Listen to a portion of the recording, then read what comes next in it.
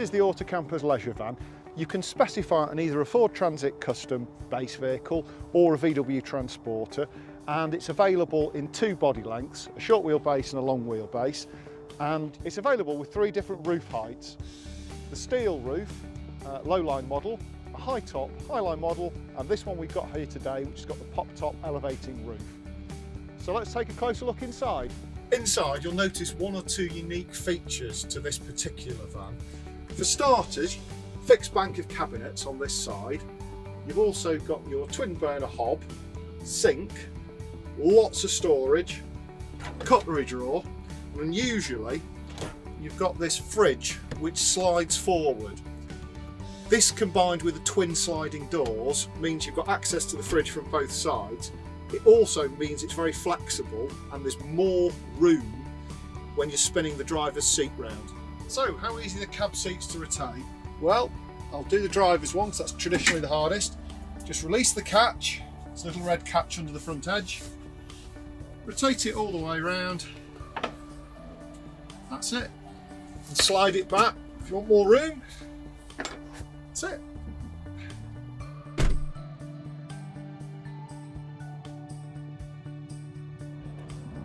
One of the great things about the leisure van is the layout really makes excellent use of the twin door layout. It's really designed to maximise indoor outdoor enjoyment. I'll show you how that works. The kitchen pod, as you can see, there's a nice gap so you can enter and exit. You've also got this flip up flap, flaps, ideal for mugs, or you can put a barbecue on it. You can access your cutlery drawer from this side as well, which is quite a thoughtful touch. There's also a second flip-up flap for even more worktop space and you can tell they actually use the vans. These are really thoughtful bits of design.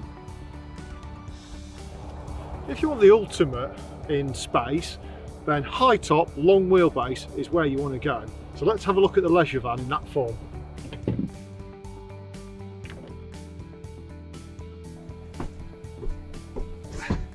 Well, as you can see in this high top uh, sliding seat leisure van, it really is all about the space. There's so much room in here. I mean, I can stretch out in all directions.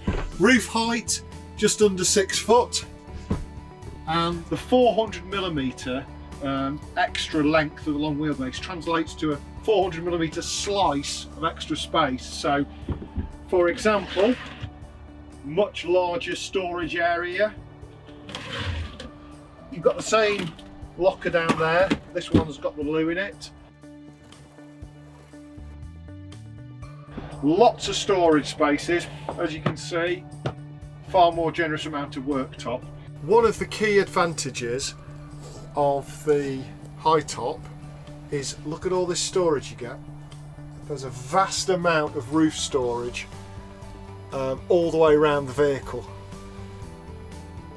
So there's a lot more storage options and they're quite large as well. I mean, there's loads of room in there. The high top shares the same clever wardrobe system as the other models. So you slide a catch, drop that bit down, slide a catch here, flip that bit up, and then you can use the full hanging rail. You also get a solar panel, as you can see. It's charging both batteries now. The leisure van is designed to suit all hobbies and its clever rear seating system enables it to take four adults in complete comfort and safety. Let's take a closer look at this innovative design. One of the really great things about the leisure van is this clever uh, seat and bed system. This is the mid-mounted version.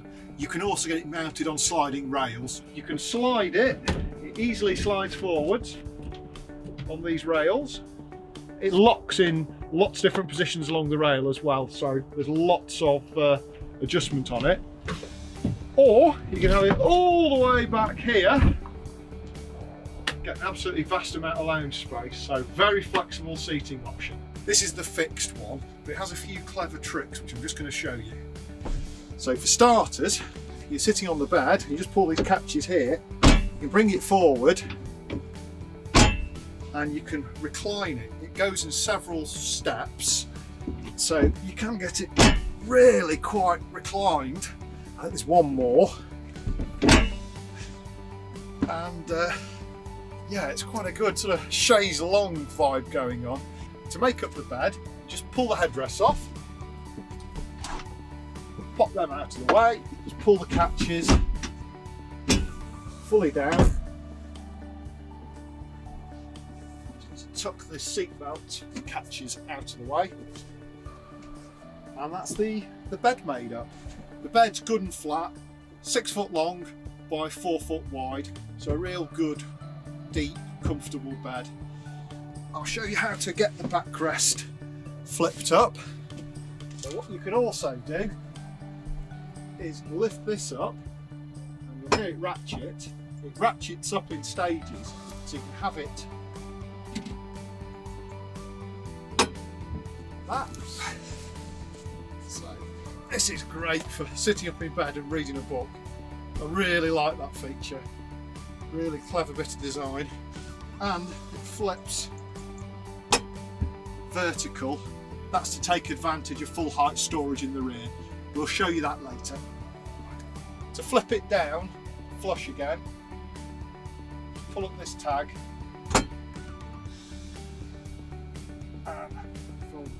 flat. To put the bed up, use this strap, pull it up and pull, push it with your knees like that until it clicks.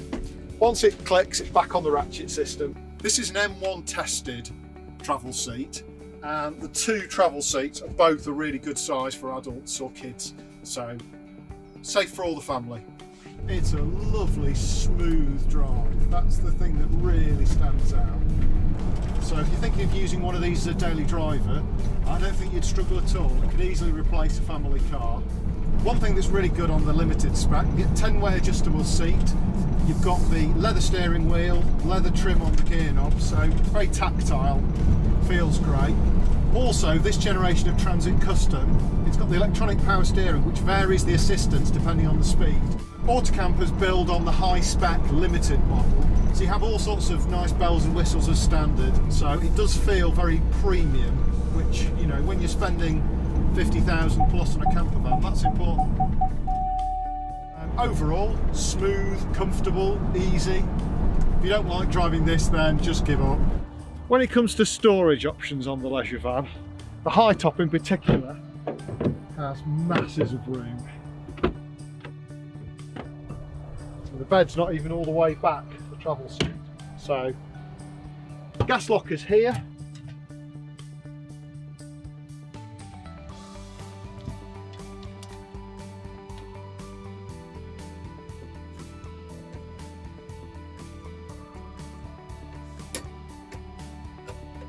You can also drop this backrest down. It forms a natural seat as well. This particular one's got the leather option, but the real benefit of this sliding seat system is when you push it all the way forwards. Just see how much space you gain. This is a massive storage area. Uh, you try finding an SUV or an estate car with this much room in it. Thanks to the twin sliding doors, you can add an awning to either side of the leisure van, while the sliding seat option adds versatility and can be positioned perfectly for dining. If you want four berths, tick the option for the pop-top roof system.